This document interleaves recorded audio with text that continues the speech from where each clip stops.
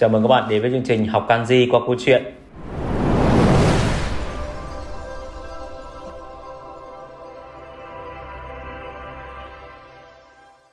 Mình là Toàn đến từ tiếng Nhật 21 ngày.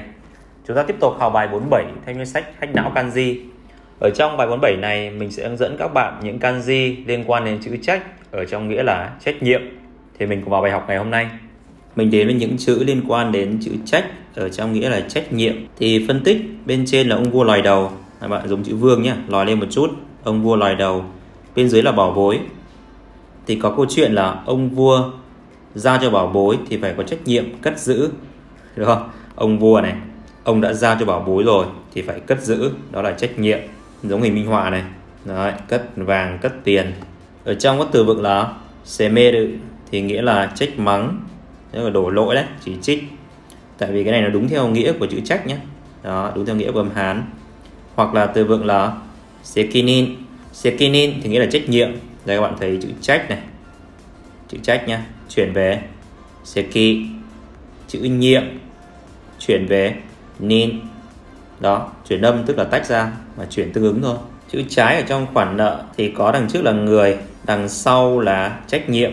Tức là những chữ sau này kiểu gì cũng có cái chữ trách nhiệm này nhá, và thêm cái bộ màu xanh xanh, đó. thì câu chuyện là người vay tiền thì phải có trách nhiệm với khoản nợ. Đây, cái người này có trách nhiệm với khoản nợ của mình.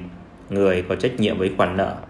Trong từ vựng là, cục sai thì nghĩa là trái phiếu chính phủ, âm hán là quốc trái. Đây, chữ quốc này, chuyển về cô cử. Chữ trái này, chuyển về sai, cục sai tích thì trong nghĩa là thành tích, đằng trước là sợi tơ, đằng sau là trách nhiệm. Đây, tức là dệt tơ thì trách nhiệm là phải tạo ra thành tích, đúng không? Tơ cộng trách nhiệm bằng thành tích. Đây, trách nhiệm dệt tơ tạo thành tích. Trong từ vựng là seisiki là thành tích, chữ thành chuyển về c. Chữ thành này trong thành công đấy, các bạn nhớ không? Seiko đấy, thì chính thành chuyển về c, vẫn như thành này. Tích chuyển về seki. Đây tích chuyển về seki. Tương ứng nhá. Thành này đây đi thành này chuyển về c. Tích chuyển về seki. Với các từ vựng tương tự các bạn cũng học tương tự thôi. Cứ tách ra mà chuyển âm đúng không? Với những từ vựng học theo kiểu như là âm môn như thế này. Chữ tích thì trong nghĩa là tích chữ. Nó khác cái thành tích ở cái bộ đằng trước này.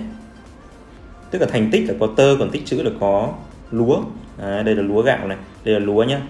Đằng sau là trách nhiệm tức là trách nhiệm này, tích chữ lúa gạo. Đây, đấy, lúa này. Trách nhiệm với tích chữ lúa. Ở trong từ vựng là chữ mợ thì là trồng, xếp lên. Chữ mô đự nghĩa là chất đống. Menseki kỳ thì nghĩa là diện tích. Đây em hán là diện này, đây chữ diện, chuyển về men. Chữ tích này tích này, chuyển về seki. Âm hán là tí, nghĩa là ngâm tẩm tức là ngâm đấy thì rất là dễ đằng trước là nước đằng sau là trách nhiệm. Nước có trách nhiệm để ngâm. Thế thôi đây nước này. Có trách nhiệm để ngâm. Cái này hay dùng cho ngâm ngâm dưa. Đấy.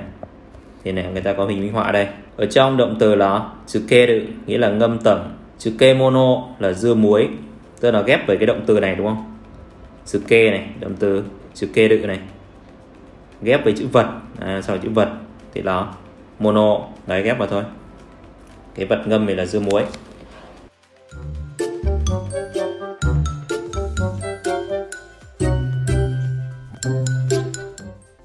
Mình vừa dẫn các bạn rất là kỹ những kanji liên quan đến chữ trách nhiệm.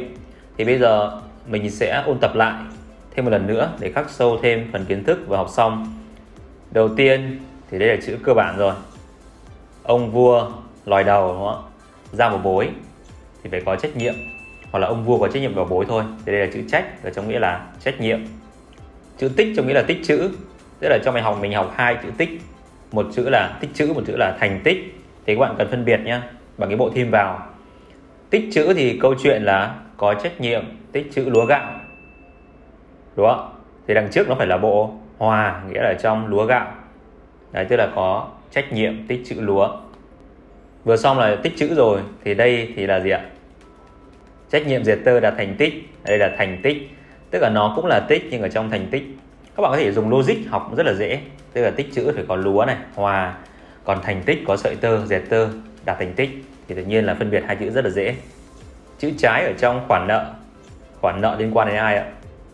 Liên quan đến người. Câu chuyện là người có trách nhiệm với khoản nợ. Đằng trước là nhân đứng, đằng sau là trách nhiệm. Tức là những chữ này kiểu gì cũng có trách nhiệm rồi. Kiểu gì cũng có chữ trách rồi. Nhưng mà ghép thêm cái bộ gì thôi bây giờ mình thêm nước. À, bây giờ là nước có trách nhiệm làm gì? Ở trong câu chuyện rất là rõ ờ, rất dễ hiểu rồi. Nước có trách nhiệm để ngâm tẩm ở trong ngâm dưa chẳng hạn. Thì chữ này là chữ tí ở trong nghĩa là ngâm tẩm.